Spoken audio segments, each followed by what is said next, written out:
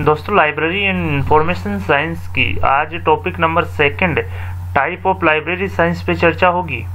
तो दोस्तों, हमने एक जो टॉपिक नंबर एक है, उस पर वीडियो अपलोड कर दिया है। वो आप library and information science for R S S S M K V S N V S NET D S S B and any other related exam नाम की प्लेलिस्ट क्रिएट कर रखी है, वहाँ से जाके आप देख सकते हैं। दोस्तों, राजस्थान बेरोजगार छात्र संघ और इस क्लास का जो मेन मकसद है, वो कम समय में आपको अधिक से अधिक रिज़ल्ट प्रोवाइड करवाना है। तो दोस्तों, पूरा ज़रूर देखिए और इस क्लासेस फ्री क्लासेस का फ़ायदा ज़रूर उठाएँ। दोस्तों, आज हम इस वीडियो में चर्चा करेंगे कि जो ग्रंथ, पुस्तकालय के प्रकारों के बारे में। कि कितने प्रकार होते हैं, किस प्रकार में कौन कौन से क्वेश्चन बनते हैं उन तो दोस्तों, पहला टाइप है सार्वजनिक पुस्तकालय, इस पे चर्चा करते हैं। पब्लिक लाइब्रेरी शब्द का हिंदी रूपांतरण, सार्वजनिक पुस्तकालय। जनता का, जनता द्वारा और जनता के लिए संचालित पुस्तकालय क्या कहलाता है? सार्वजनिक पुस्तकालय कहलाता है। किस प्रकार के पुस्तकालय जनतंत्र के उपहार या भेंट कहलाते हैं? सार्वजनिक पुस्तकालय हैं जो जनतंत्र के उपहार और भेंट कहलाते हैं। दोस्तों, अगर आप हमें टेलीग्राम ग्रुप के माध्यम से ज्वाइन करना चाहते हैं तो लिंक डिस्क्रिप्शन में दिया है, उस पर जाके ज्वाइन कर सकते हैं। इसके अलावा दोस्तों, जो जनतंत्र के उपहार होते हैं, वो सार्वजनिक पुस्तकालय कहलाते हैं। सार्वजनिक ग्रंथालय जनता द्वारा स्थापित जनता द्वारा समर्थित एवं जनता द्वारा उपयोग में लाए जाते हैं। ये परिभाषा किसने दी?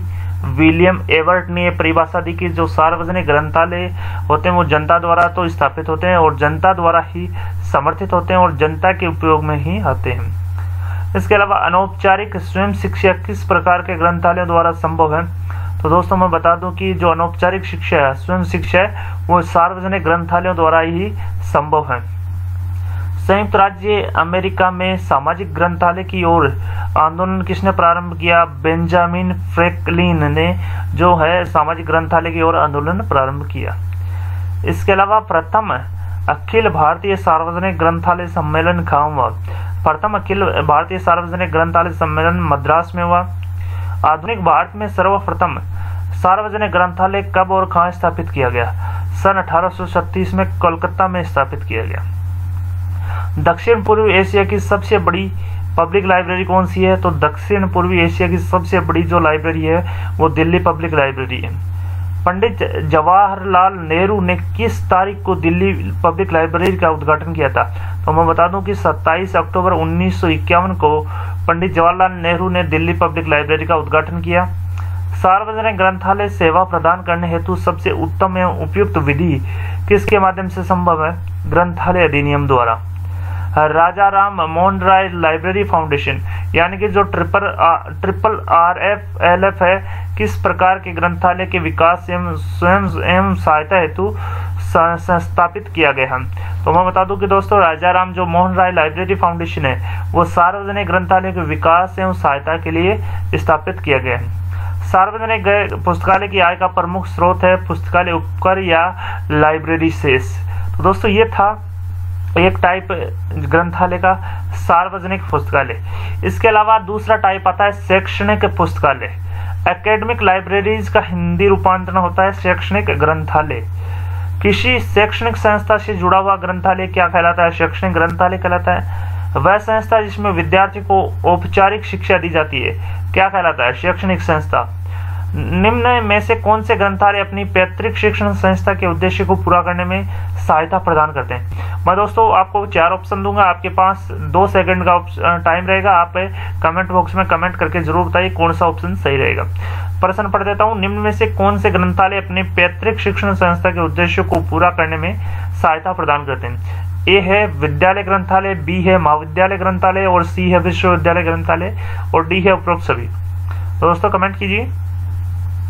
सही उत्तर है दोस्तों डी उपरोक्त सभी। यानी कि विद्यालय, महाविद्यालय और विश्वविद्यालय ग्रंथालय, वो पैतृक शिक्षण संस्था के उद्देश्य को पूरा करने में सहायता प्रदान करते हैं।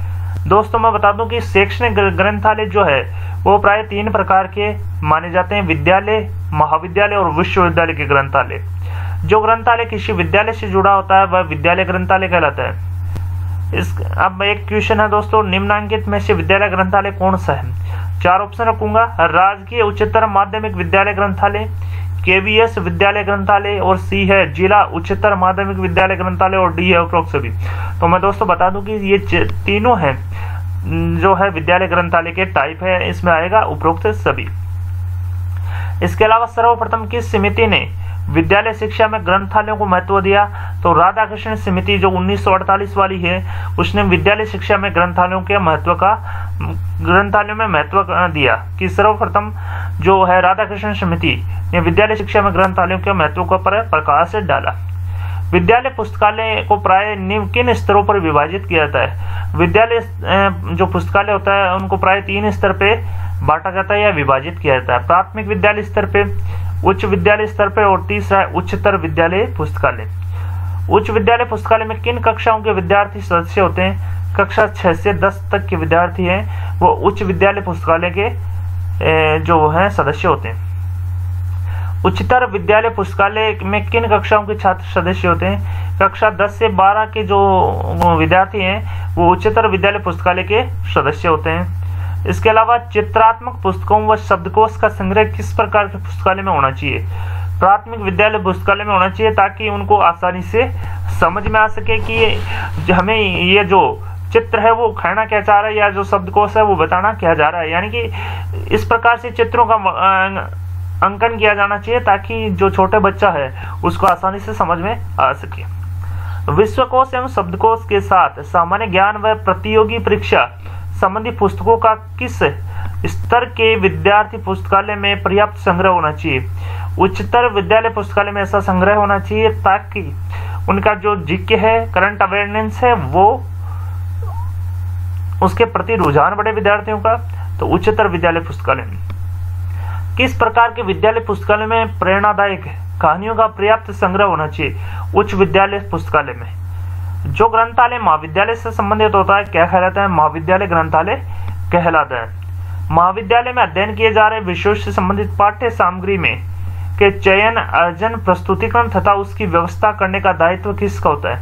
महाविद्यालय ग्रंथालय का होता है। अब दोस्तों, मैं एक जो क्वेश्चन है आपसे पुटअप करना चाह रहा हूँ। आपको पाँच सेकंड का टाइम मिलेगा। आपको उसका जो आंसर है, वो कमेंट बॉक्स के माध्यम से बताना होगा। ये है, निम्नांकित में से महाविद्यालय ग्रंथालय का उद्देश्य क्या होता है? यह है, संबंध महाविद्यालयों के शैक्षणिक कार्यक्रमों को सफल बनाने में सहायता करना तथा सभ्य एवं सुसंस्कृत नागरिक तैयार करना। तथा बी है, पाठकों को विभिन्न प्रकार के ज्ञान की गहनता से अवगत करवाना। सी है विद्यार्थियों को विभिन्न प्रकार के व्यवसायों में प्रवेश के लिए तैयार करना तथा विद्यार्थियों व शिक्षकों के अध्ययन व अनुसंधान की आवश्यकताओं को पूरा करना। इसके अलावा जो डी है उपरोक्त सभी उद्देश्य। तो दोस्तों, महाविद्यालय जो ग्रंथालय, क्या उद्देश्य होना चाहिए आप कमेंट बॉक्स में कमेंट कीजिए। ये सारे उद्देश्य हैं जो महाविद्यालय पुस्तकालय के होने चाहिए, यानी कि उपरोक्त सभी डी ऑप्शन आएगा। इसके अलावा महाविद्यालय ग्रंथालय के कार्य के बारे में बता देता हूँ। पैतृक संस्था को उसके शैक्षणिक कार्य पूर्ण करने में सहायता देना पाठकों को ग्रंथालय उपयोग करने में प्रशिक्षित करना तथा पुस्तकों का आदान प्रदान करना संदर्भों का संकलन प्रलेखों का संरक्षण व नवीन पुस्तकों की सूची तैयार करना महाविद्यालय ग्रंथालय के प्रमुख कार्य हैं। इसके अलावा महाविद्यालय ग्रंथालय पाठकों को कौन सी सेवाएँ प्रदान करता है, कई प्रकार की सेवाएँ हैं जिसमें से परामर्शदात्री सेवाएँ परिसंचरण यानी सर्कुलेशन तथा अंत ग्रंथाली आदान प्रदान सेवा। दूसरी है, निर्बाध प्रवेश प्रणाली छाया प्रतिलिपिकरण तथा संदर्भ रेफरेंस सेवाएँ। सी है, तीसरी है, अनुक्रमणीकरण यानी इंडेक्सीकरण व सारांशीकरण की सेवाएँ। प्रमुख रूप से महाविद्यालय पुस्तकालय या महाविद्यालय ग्रंथालय द्वारा पाठकों को दी जाती है। विश्वविद्यालय ग्रंथालय विश्वविद्यालय का हृदय स्थल होता है, ये किसका कथन है? दोस्तों, विश्वविद्यालय ग्रंथालय विश्वविद्यालय का हृदय स्थल होता है, ये कथन है। सी डी देशमुख का इंपॉर्टेंट क्वेश्चन है दोस्तों। सी डी देशमुख किस विश्वविद्यालय के कुलपति थे? दिल्ली विश्वविद्यालय के। डॉक्टर एस आर रंगनाथन साहब ने विश्वविद्यालय ग्रंथालय के कितने कार्य बताए? तो मैं बता दूँ कि दोस्तों, ये भी इम्पोर्टेंट जो प्रश्न है डॉक्टर एस आर रंगनाथन साहब ने विश्वविद्यालय ग्रंथालय के पाँच कार्य बताए। प्रारंभिक कार्य, दो दो नंबर है समांतरण अध्ययन तीसरा तीसरा है अनुवृत्ति अध्ययन। चौथा पाठकों के खाली समय का सदुपयोग और पांचवा है गहन तथा प्रगतिशील अध्ययन। तो इस प्रकार से ये पाँच कार्य हैं, डॉक्टर एस आर रंगनाथन साहब ने विश्वविद्यालय ग्रंथालय के कार्य बताए हैं। तो दोस्तों, पाँच काम बताए हैं, जिसमें प्रारंभिक कार्य समानांतर अध्ययन, अनुवृत्ति अध्ययन, पाठकों के खाली समय का सदुपयोग, इसके अलावा गहन तथा प्रगतिशील अध्ययन। विश्वविद्यालय ग्रंथालय समिति का सदस्य, समिति का सचिव कौन होता है? तो दोस्तों, विश्वविद्यालय ग्रंथालय समिति का सचिव, पुस्तकालय अध्यक्ष होता है। विश्वविद्यालय ग्रंथालय विश्वविद्यालय में किस स्थान पर होता है? केंद्रीय स्थान पर ये जो ग्रंथालय स्थित होता है विश्वविद्यालय का। इसके अलावा यूजीसी का विश्वविद्यालय यूजीसी द्वारा विश्वविद्यालय पुस्तकालय का कितने समांतर अंतराल पर निरीक्षण किया जाना चाहिए? यानी कि यूजीसी है, जो किसी यूनिवर्सिटी के, जो लाइब्रेरी का है, वो इंफेक्शन इंस्पेक्शन या निरीक्षण कितने साल बाद में करती है? प्रत्येक पाँच वर्ष पश्चात उनको निरीक्षण करना चाहिए। विश्वविद्यालय का हृदय स्थल किसे माना जाता है? विश्वविद्यालय के ग्रंथालय को विश्वविद्यालय का हृदय स्थल माना जाता है। भारत में सर्वप्रथम सन अठारह में किन तीन विश्वविद्यालयों की स्थापना की गई थी? दोस्तों, मैं बता दूँ कि कलकत्ता बम्बई और मद्रास विश्वविद्यालयों की स्थापना सर्वप्रथम सन अठारह में की गई। तो दोस्तों, ये था पहला था अपना जो सार्वजनिक पुस्तकालय, दूसरा था शैक्षणिक पुस्तकालय, अब तीसरा आता है अपना जो विशिष्ट पुस्तकालय। विशिष्ट पुस्तकालय के प्रश्न अध्ययन करेंगे, इसके अलावा राष्ट्रीय पुस्तकालय भी है अपना। तो आइए दोस्तों विशिष्ट पुस्तकालय के जो इम्पोर्टेंट पर्सन है, उनका डिस्कशन करते हैं। किसी विशिष्ट उद्देश्य के लिए स्थापित पुस्तकालय क्या कहलाता है? विशिष्ट पुस्तकालय। शासकीय पुस्तकालय किस प्रकार के पुस्तकालय हैं? विशिष्ट प्रकार के पुस्तकालय हैं। विशिष्ट पुस्तकालय का उदाहरण, राष्ट्रीय पुस्तकालय। दोस्तों, विशिष्ट प्रकार का होता है सरकारी विभागों से जुड़े पुस्तकालय और राष्ट्रीय शोध संस्थानों से जुड़े पुस्तकालय। विशिष्ट पुस्तकालय के उदाहरण हैं। किसी एक विषय से संबंधित राष्ट्रीय पुस्तकालय जैसे national library of agriculture, national library of medicine आदि किस प्रकार के पुस्तकालय विशिष्ट पुस्तकालय। यानी कि एक ही विषय विशेष विषय विशेष, विषय विशेषज्ञ से संबंधित जो पुस्तकालय होता है, वो विशिष्ट पुस्तकालय होता है। इसके अलावा, किसी, किस प्रकार के पुस्तकालय का उद्देश्य सार्वजनिक न होकर विशेष वर्ग की सेवा मात्र होता है, विशिष्ट पुस्तकालय का। कृषि पुस्तकालय तथा अभियंत्रण पुस्तकालय किस प्रकार के पुस्तकालय हैं? विशिष्ट प्रकार के पुस्तकालय हैं? औद्योगिक तथा व्यापारिक संस्थानों से संबंध पुस्तकालय किस प्रकार के पुस्तकालय विशिष्ट प्रकार के पुस्तकालय हैं। विशिष्ट पुस्तकालयों द्वारा पाठकों को दी जाने वाली व्यक्तिगत सेवा है, कौन सी सेवा है? चयनात्मक सूचना प्रसार सेवा, यानी कि एस चयनात्मक सूचना प्रसार सेवा एस में पाठकों की मांगों के अनुसार सूचनाओं का जो संकलन किया जाता है, उसे क्या कहा जाता है? उसे मैचिंग कहा जाता है। स्पेशल लाइब्रेरी शब्द का हिंदी रूपांतरण विशिष्ट पुस्तकालय। विशिष्ट पुस्तकालयों द्वारा पाठकों को दी जाने वाली या प्रदान करने वाली संदर्भ सेवा क्या कहलाती है? रेफरल सेवा कहलाती है। सी एस का पूर्ण नाम वर्तमान कालिक जागरूकता सेवा, यानी कि करंट अवेयरनेस सर्विस पुस्तकालय के नियमों, कार्यों तथा उनके द्वारा दी जाने वाली सेवाओं की जानकारी पाठकों को किस माध्यम से दी जाती है? पुस्तकालय विवरणिका या लाइब्रेरी ब्रोकर के माध्यम से? अनुदान सेवा प्रदान करना तथा ग्रंथ प्रक दीक्षा देना किसका दायित्व होता है? विशिष्ट पुस्तकालय का दायित्व होता है। ये दोस्तों था विशिष्ट पुस्तकालय, अब आता है राष्ट्रीय पुस्तकालय। पहला मैं जो बेसिक सा क्वेश्चन है अपना, कि राष्ट्रीय पुस्तकालय कहाँ स्थित है? राष्ट्रीय पुस्तकालय कोलकाता में स्थित है, कोलकाता में। किसी भी देश की सरकार द्वारा स्थापित केंद्रीय ग्रंथालय क्या कहलाता है? उसका राष्ट्रीय ग्रंथालय कहलाता है। जिस पुस्तकालय का उद्देश्य राष्ट्र में उपलब्ध ज्ञान का संरक्षण करना तथा संपूर्ण राष्ट्र की सेवा करना होता है, क्या कहलाता है? वो राष्ट्रीय पुस्तकालय कहलाता है। भारत के राष्ट्रीय पुस्तकालय की स्थापना कलकत्ता पब्लिक लाइब्रेरी के नाम से कब की गई थी? अठारह सौ छत्तीस में की गई थी। दोस्तों, मैं बता दूँ कि भारतीय राष्ट्रीय पुस्तकालय की स्थापना कलकत्ता पब्लिक लाइब्रेरी के नाम से सन 1836 में सन 1836 में स्थापित कलकत्ता पब्लिक लाइब्रेरी को किस वर्ष मेडकोफ नामक भवन में स्थापित किया? तो दोस्तों, मैं बता दूँ कि सन अठारह में कलकत्ता पब्लिक लाइब्रेरी को मेडकोफ नामक भवन में स्थापित किया गया था। तत्कालीन वाइसराय लॉर्ड कर्जन द्वारा कई सचिवालय पुस्तकालयों को मिलाकर इंपीरियल लाइब्रेरी की जो स्थापना की है, वो किस वर्ष की? सन अठारह में। कलकत्ता पब्लिक लाइब्रेरी को इंपीरियल लाइब्रेरी के साथ किस वर्ष मिलाया गया? सन 1902 में। सन 1902 में कलकत्ता पब्लिक लाइब्रेरी को इंपीरियल लाइब्रेरी के साथ मिक्स या मिला दिया था। किस एक्ट के तहत कलकत्ता पब्लिक लाइब्रेरी को इंपीरियल लाइब्रेरी में मिलाया गया? सन 1902 में इंपीरियल लाइब्रेरी एक्ट के तहत। इंपीरियल लाइब्रेरी एक्ट के तहत गठित नवीन इंपीरियल लाइब्रेरी ऑफ़ इंडिया को मेडको हॉल में जनता के उपयोग के लिए कब खोला गया? 30 जनवरी 1903 को खोला गया। यानी कि इंपीरियल लाइब्रेरी एक्ट के तहत गठित नवीन इंपीरियल लाइब्रेरी ऑफ़ इंडिया को मेडको हॉल में जनता के उपयोग के लिए सन 30 जनवरी 1903 को खोला गया। ब्रिटिश म्यूज़ियम से संबंधित किस व्यक्ति को नवगठित इंपीरियल लाइब्रेरी का प्रथम पुस्तकालय अध्यक्ष बनाया गया? जॉन मेड फर्लेन को जो है पहला इंपीरियल लाइब्रेरी का पुस्तकालय अध्यक्ष बनाया गया। इंपीरियल लाइब्रेरी का प्रभारी सन 1907 में किसे बनाया गया? हरिनाथ डे को इंपीरियल लाइब्रेरी का सन 1907 में प्रभारी बनाया गया। इंपीरियल लाइब्रेरी को डिपोजिटरी लाइब्रेरी घोषित करने की अनुशंसा कब हुआ, किस समिति ने की?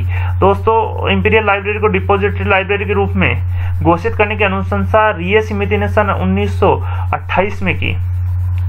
भारत सरकार द्वारा पुस्तकालयों के पुनर्गठन एवं प्रशासनिक ढांचे में सुधार के लिए सन 1928 में किस समिति का गठन किया गया? रिय समिति का गठन किया गया। के एम असुदल्ला को इंपीरियल लाइब्रेरी का लाइब्रेरियन कब नियुक्त किया? तो मैं बता दूँ दोस्तों, के एम असुदल्ला को इंपीरियल लाइब्रेरी का लाइब्रेरियन सन 1933 में नियुक्त किया गया।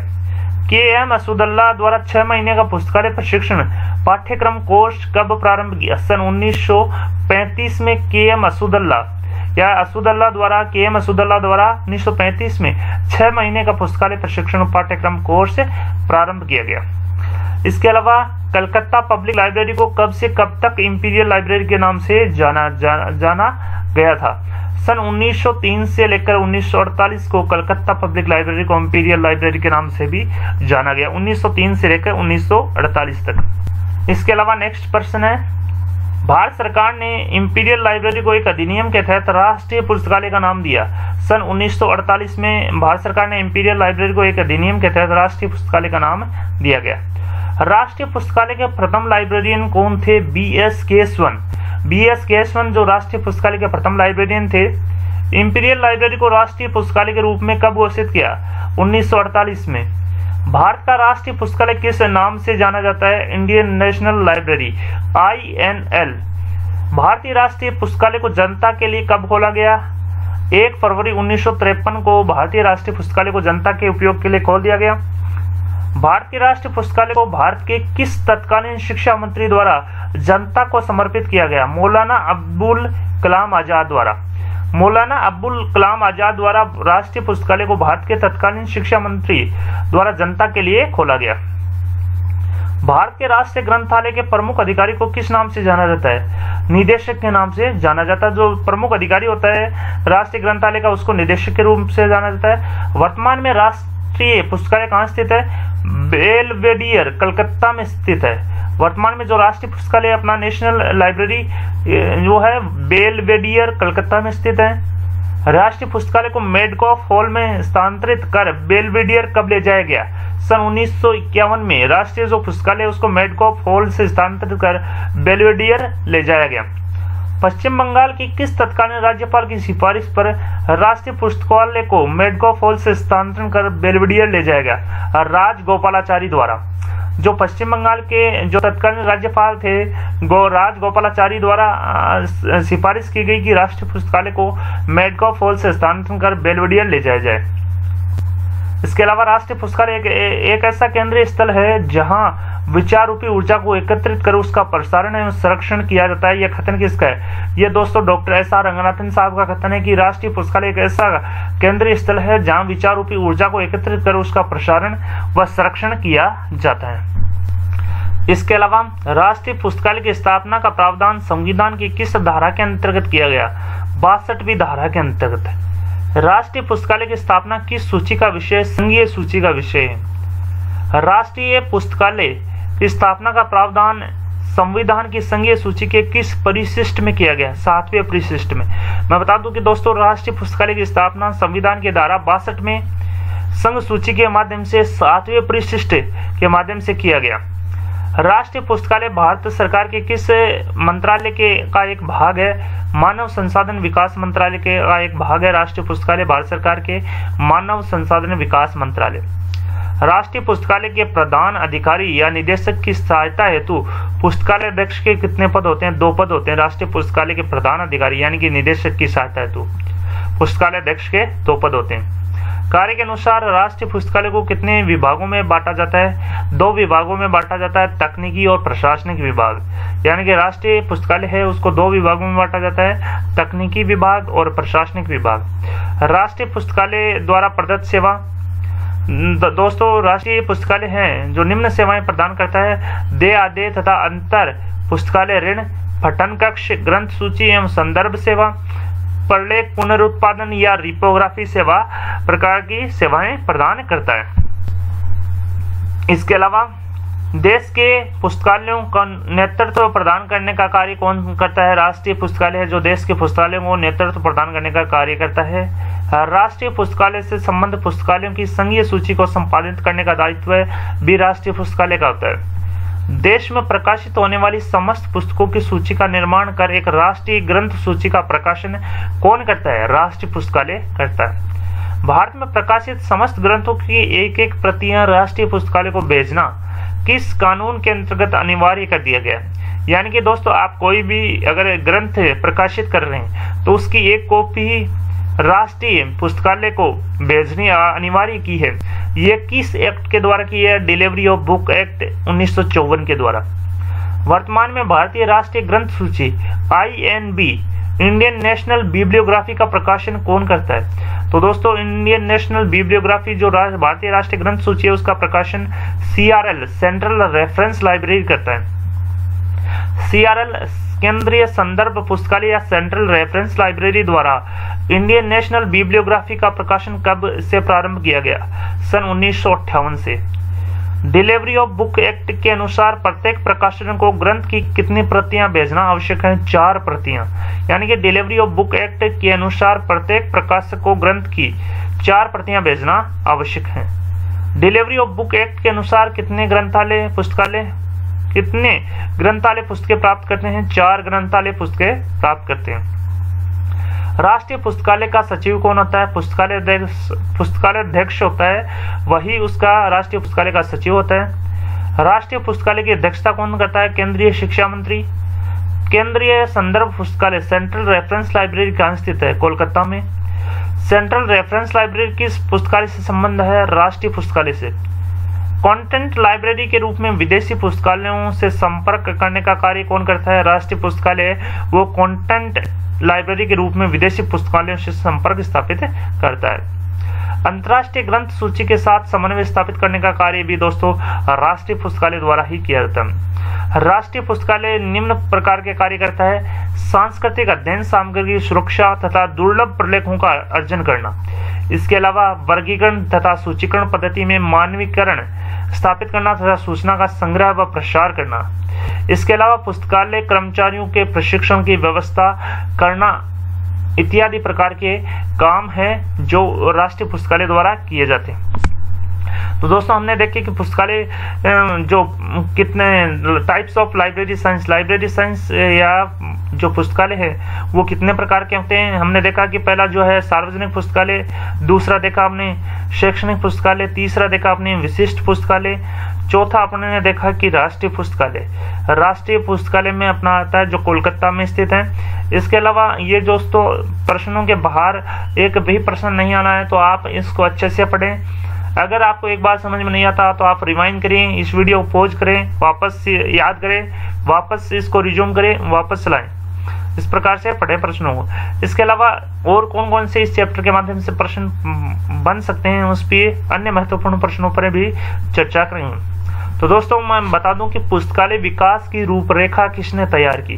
तो दोस्तों, पुस्तकालय विकास की जो रूपरेखा है, वो डॉक्टर एस आर रंगनाथन साहब द्वारा की गई है। रंगनाथन को राष्ट्रीय शोध प्राध्यापक कब नियुक्त किया गया? सन उन्नीस सौ बासठ में डॉक्टर एस रंगनाथन साहब को राष्ट्रीय शोध प्राध्यापक नियुक्त किया गया। भारत का राष्ट्रीय चिकित्सा पुस्तकालय, इंडियन जो मेडिकल लाइब्रेरी है, वो कहाँ पे स्थित है? नई दिल्ली में। पुस्तकालय का विकास दो प्रकार का होता है, बाल विकास और वैश्विक विकास। इंपॉर्टेंट क्वेश्चन है दोस्तों। सभी ग्रंथालय के विकास की प्रारंभिक अवस्था कौन सी होती है? बाल विकास की अवस्था। स्पष्ट दृष्टिगोचर होने वाला विकास कौन सा है? स्पष्ट जो दृष्टिगोचर होने वाला विकास है, वो बाल विकास है। जो स्पष्ट, कौन सा विकास जो दृष्टिगोचर नहीं होता? वैश्यक विकास है, वो दृष्टिगोचर नहीं होता। किस प्रकार का ग्रंथालय सदैव ही बाल विकास की अवस्था में होता है? राष्ट्रीय जो ग्रंथालय है, वो सदैव ही बाल विकास की अवस्था में होता है। इसके अलावा पाठ्य सामग्री को सदैव सुरक्षित रखे जाने व निष्कासित न किए जाने के कारण किस प्रकार का पुस्तकालय सदैव ही बाल विकास की अवस्था में रहता है? राष्ट्रीय ग्रंथालय। प्रतिदिन आने वाले नवीन ग्रंथों की प्रविष्टियों को उचित स्थान देने तथा पुरानी गतिविधियों, यानी कि आउटडेटेड ग्रंथों की प्रविष्टियों को निकाल देने की सुविधा कौन प्रदान करता है? कार्ड फॉर्म औसतन प्रति ग्रंथ कितने पत्रक तैयार किए जाते हैं? छह पत्रक। यानी कि एक ग्रंथ के लिए छह पत्रक तैयार किए जाते हैं। संविधान में शिक्षा को किस सूची में रखा गया? यानी कि संविधान में संवर्ती यानी कॉन्करेंट लिस्ट में शिक्षा को रखा गया है क्योंकि शिक्षा जो राज, राष्ट्र और राज्य दोनों का अधिकार होता है इसलिए इसको संवर्ती या कॉन्करेंट लिस्ट में रखा गया है। तो दोस्तों ये था library types of library science जिसमें अपन ने जो मेन मेन जो टॉपिक हैं, चाहे वो पब्लिक लाइब्रेरी हो, चाहे वो शैक्षणिक, जो सार्वजनिक पुस्तकालय हो या शैक्षणिक पुस्तकालय हो, या विशिष्ट पुस्तकालय हो, इसके अलावा राष्ट्रीय पुस्तकालय पर भी चर्चा की। अगर दोस्तों वीडियो अपने पसंद आए तो वीडियो को अपने दोस्तों के साथ लाइक और शेयर करना न भूलें, और अगर आप सफल होना चाहते हैं और आपने पहला जो वीडियो है, अपनी क्लास है, वो नहीं देखी है तो आप आप राजस्थान बेरोजगार छात्र संघ यूट्यूब पे जाएँ, विज़िट करें और प्लेलिस्ट बना रखी है हमने लाइब्रेरी एंड इंफॉर्मेशन साइंस के नाम से, उसमें जाके आप देख सकते हैं। तो दोस्तों, ये था सेकंड टॉपिक पुस्तकालय के प्रकार या पुस्तकालय के प्रकार, जिसमें सार्वजनिक पुस्तकालय, शैक्षणिक पुस्तकालय वशिष्ठ पुस्तकालय और राष्ट्रीय पुस्तकालय का हमने अध्ययन किया।